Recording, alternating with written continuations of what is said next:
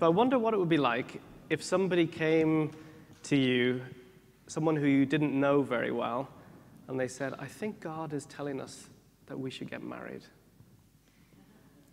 What would you, is that how you proposed, Andy? uh, um, it'd be very strange, right? Um, it did happen to a friend of mine. A friend of mine was telling me this story. He was in college, and, and a woman came to him. They knew each other by name only, and she said, I think God is telling us to get married. And he politely said, Well, I think I'll wait for God to tell me the same.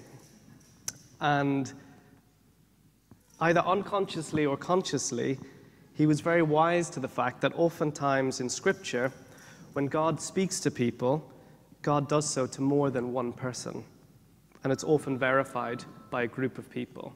Not, not always just to an individual who, who has some kind of secret knowledge that nobody else has.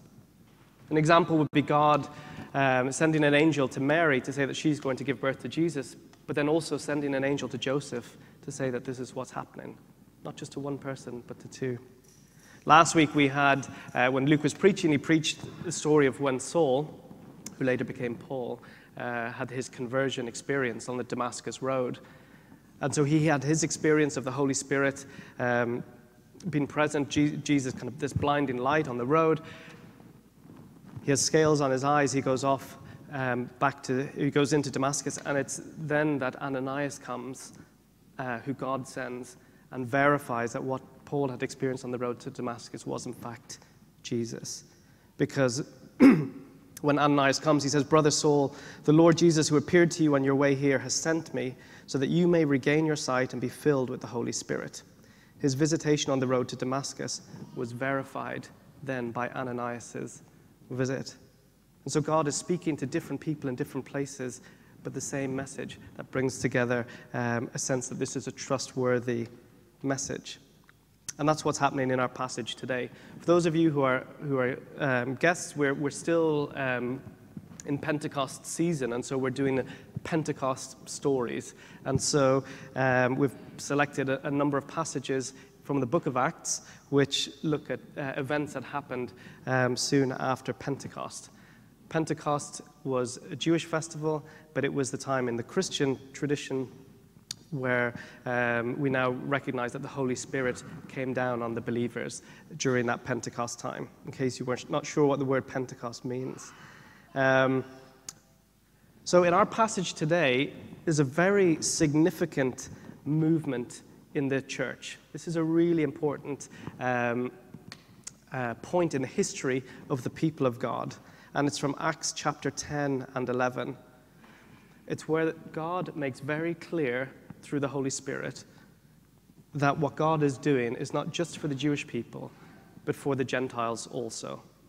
Now, throughout Scripture, throughout the Old Testament, through Jesus' ministry, through the event of Pentecost, there are, uh, there are like hints at this and, and um, indications that what God is doing was always for the whole world. That's throughout all of Scripture.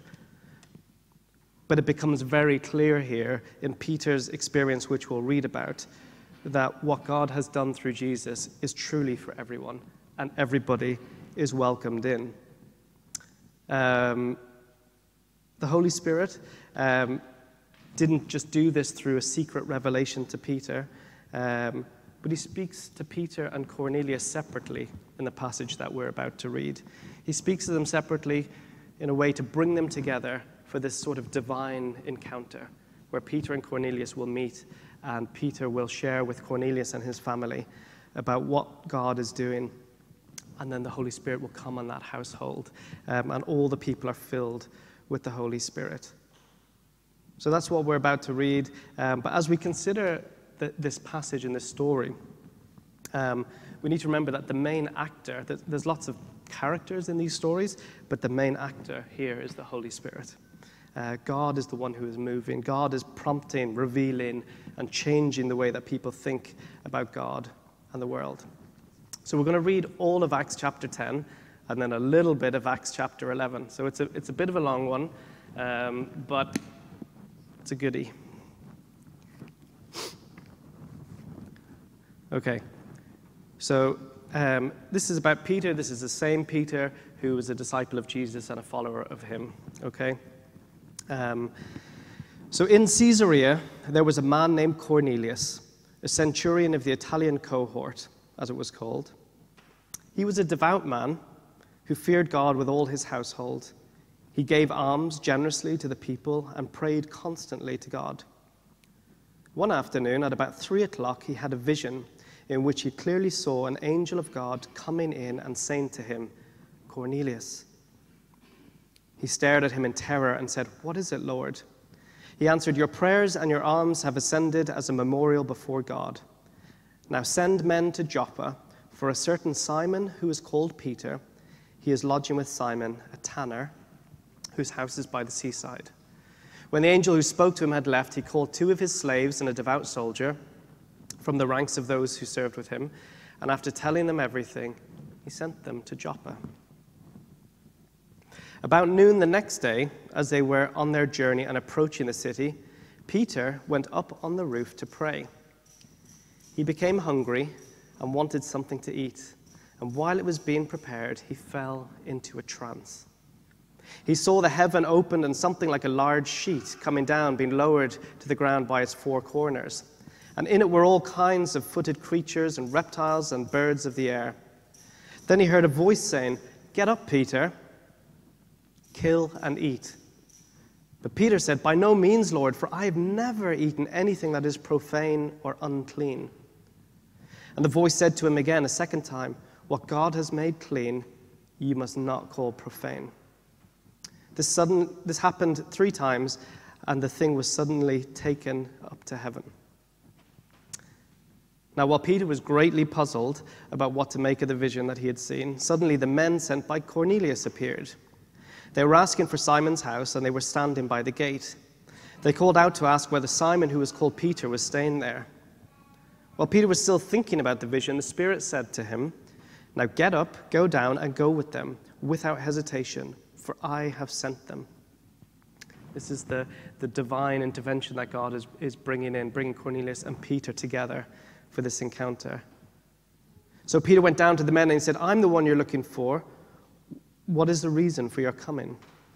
They answered, Cornelius, a centurion, an upright and God fearing man who is well known of by the whole Jewish nation, was directed by a holy angel to send for you to come to his house and to hear what you have to say. So Peter invited them in and gave them lodging. The next day, he got up and went, and went with them, and some of the believers from Joppa accompanied him. The following day, they came to Caesarea. Cornelius was expecting them and had called together his relatives and close friends. On Peter's arrival, Cornelius met him and, falling at his feet, worshipped him. But Peter made him get up, saying, Stand up, I am only a mortal. And as he talked with them, he went in and found that many had assembled. And he said to them, You yourselves know that it is unlawful for a Jew to associate with or to visit a Gentile. But God has shown me that I should not call anyone profane or unclean. So when I was sent, I came without objection. Now, may I ask why you sent for me? And Cornelius replied, Four days ago, at this very hour, at three o'clock, I was praying in my house when suddenly a man in dazzling clothes stood before me. And he said, Cornelius, your prayer has been heard, and your alms have been remembered before God. Send therefore to Joppa and ask for Simon, who is called Peter. He is staying at the home of Simon the tanner by the sea. Therefore, I sent for you immediately, and you have been kind enough to come. So now all of us are here in the presence of God to listen to all that the Lord has commanded you to say. We're nearly there. Then Peter began to speak to them. I truly understand that God shows no partiality. In other words, God has no favorites. But in every nation, anyone who fears him and does what is right is acceptable to him. You know the message he sent to the people of Israel, preaching peace by Jesus Christ. He is Lord of all. That message spread throughout Judea, beginning in Galilee after the baptism that John announced. How God anointed Jesus of Nazareth with the Holy Spirit and with power and how he went about doing good and healing all who were oppressed by the devil, for God was with him. We are witnesses to all that he did, both in Judea and in Jerusalem. They put him to death by hanging him on a tree. But God raised him on the third day and allowed him to appear, not to all the people, but to us who were chosen by God as witnesses and who ate and drank with him after he rose from the dead. He commanded us to preach to the people and to testify that he is the one ordained by God as judge of the living and the dead.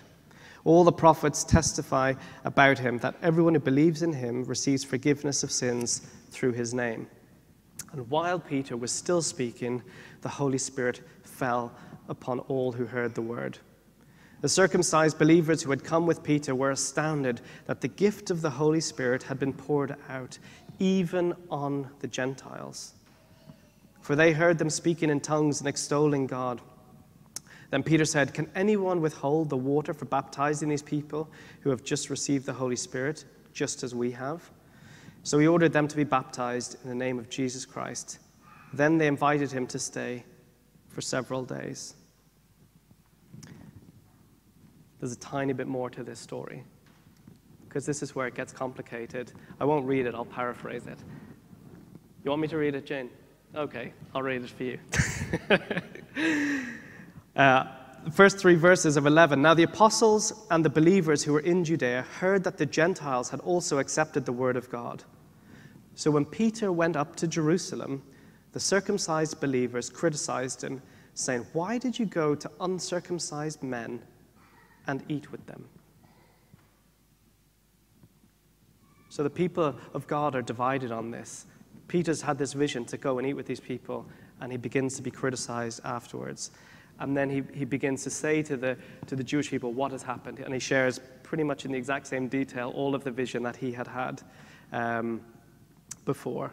But he ends by saying, um, When I finished speaking, the Holy Spirit fell upon them just as it had at the beginning. And I remembered the word of the Lord, how he had said, John baptized with water, but you will be baptized with the Holy Spirit. If then God gave them the same gift that he gave us when we believed in the Lord Jesus Christ, who was I that I could hinder God? When they heard this, they were silenced, and they praised God, saying, Then God has given even to the Gentiles the repentance that leads for life, leads to life. Um, Thanks for bearing with me through the long uh, reading there. But it's important to get the whole picture of what's going on. This is a very unusual thing to happen. Jews and Gentiles did not associate together, they did not eat together. In fact, the understanding that Gentiles could have a relationship with God, an intimate relationship with God, was one that divided opinion. And yet, here, this story begins by God listening to the prayers of an outsider. Cornelius, he is the first character introduced. He's praying um, constantly, and it's um, God who comes and answers this prayer. Cornelius is a Roman centurion. He lives in Caesarea. It's a big Roman city by the sea, a wealthy and important town, and he is a wealthy and important person. He's in the Italian regiment he's definitely not Jewish. But somehow, somewhere along the line, he has become God fearing, which is a term given to people who were not Jews but somehow had come to fear the Jewish God, Yahweh. But he was not a Jew. But he was a person of prayer. He was a person who gave alms, who gave money to charity, gave money to others who were in need. Core components of what holy living looked like for the Jewish people. And so this passage is implying that although he may be an outsider, God hears the outsider's prayers and accepts his gifts of generosity. It's a really significant start uh, to the story to begin with Cornelius. Because up until this point in time, most of the early Christians and the followers of Jesus were Jewish. They were ethnically Jewish, that was their ethnic group, but also they were religiously Jewish but this is beginning to shift. Only a couple of chapters earlier, we, had the, we have the amazing story of the Ethiopian eunuch. I'm not going to tell the whole story, but the eunuch was the epitome of an outsider, someone who had been castrated, neither male nor female, whose body had been marred. And God says, You're in. It's a story we can look at on another day, but it's, it's this really powerful story of God opening up who is in and who is out. And people keep being surprised by, the, by who they find are somehow in God's family. And so it's in full swing, this wider inclusion. And today, with Peter's vision that God gives him, it becomes even more wide open. The angel came first to Cornelius. He's praying in his house in Caesarea. He sends his delegation of people then down to Joppa to meet Peter. And it's when they're traveling on the way down that God prepares Peter for their visit. So they're already on the move, and then Peter has this vision, this dream. God is orchestrating this encounter. And Peter's dream isn't just about food. So that it, you know you have this sheet coming down from heaven with these footed animals and birds of the air and different things on this sheet.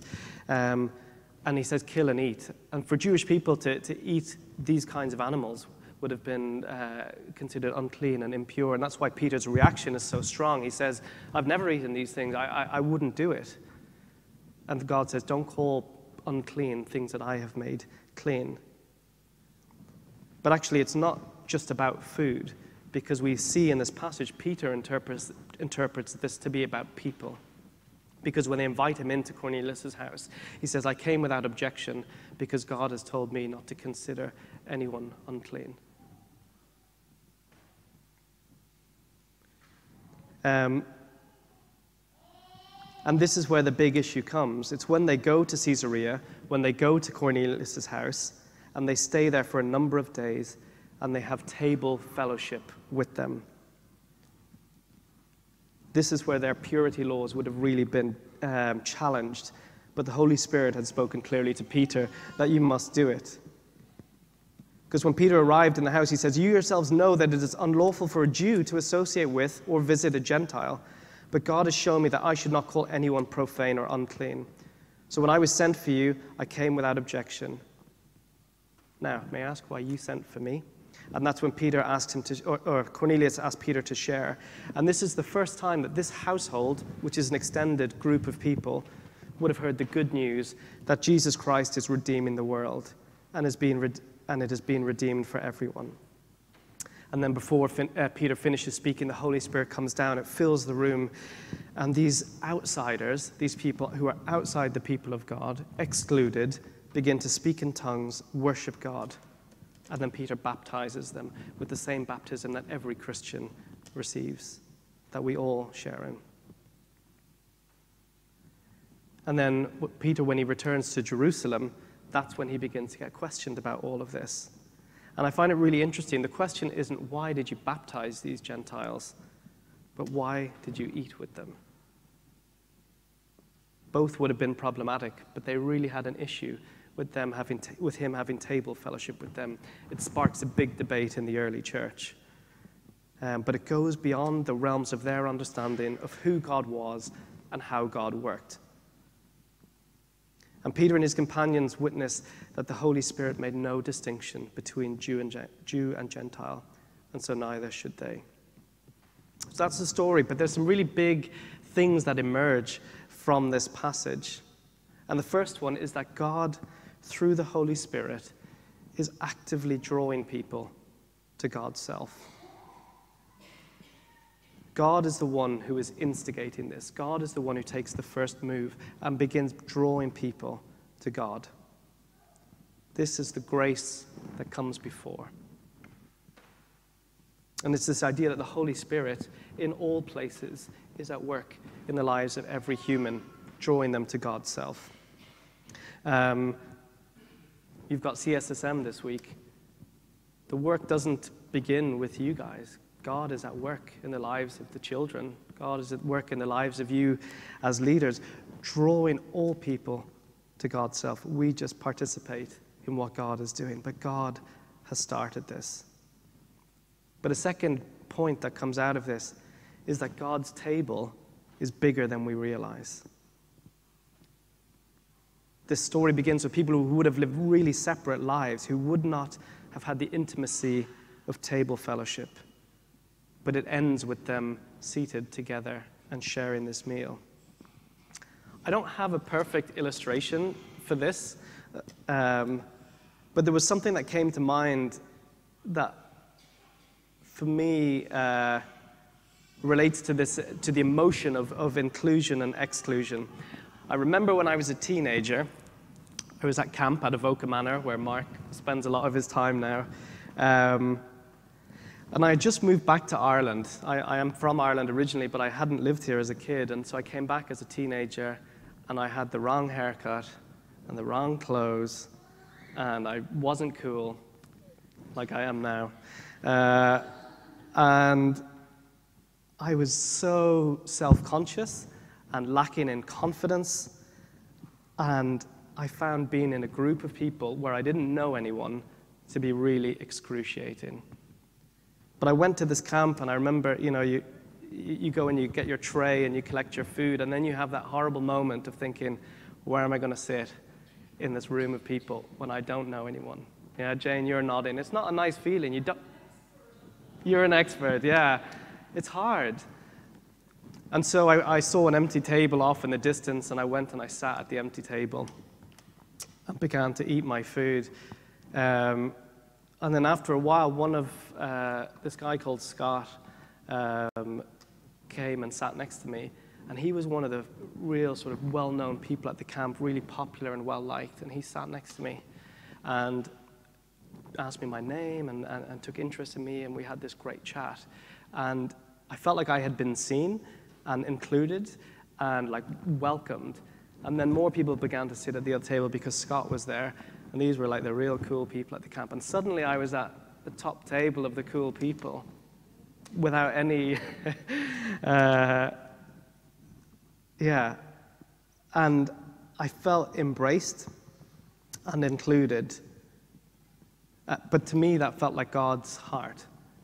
What Scott did was to see someone on the outside feeling excluded and to sit with them and to eat with them. But I've also been someone who's dished out exclusion, and I've been the one to exclude other people.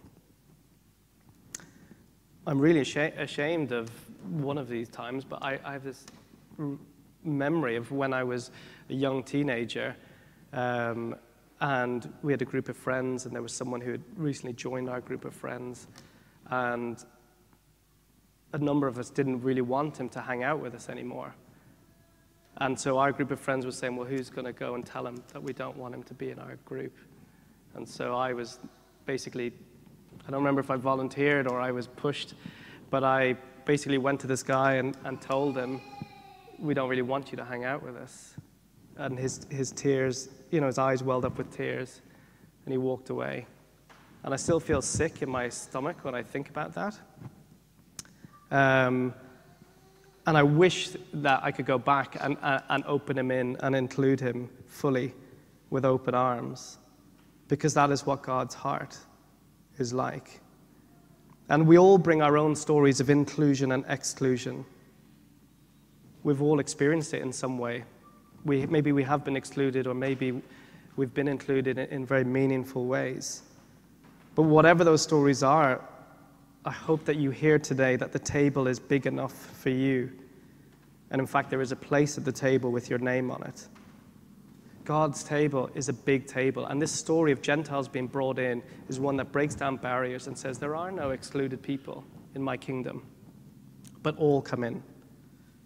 God challenges the preconceptions of who is in and who is out. Those who are marginalized by religion and through culture find themselves inside God's family, not through their own doing, but through God's invitation. And that should hit home for us because sadly, throughout history and even today, the church has been a perpetrator of exclusion. We're not immune to excluding people. People of different gender, ethnicity, sexuality, socioeconomic status. The church has participated and exclusion? What groups have we excluded that God would include? Or what scales need to fall from our eyes to see the places where God is actively at work? It's a big table. And one of the things that's so clear in the New Testament is that people are always surprised by who ends up at the table. God's table is bigger than our table. And lastly, there's this idea that our theology which is the way that we understand God and the way we understand the world, is only meaningful when it's lived out. It's not about a change of mind alone, but a changed way of living. So Peter didn't just change the way he thought about God's involvement of others, he changed the way he lived and had table fellowship with them. It's a way of living where there were more places set at the table, not less. More people invited in, not less. More people included, because God is the one who invites them. And God is the one who invites us. Let's pray.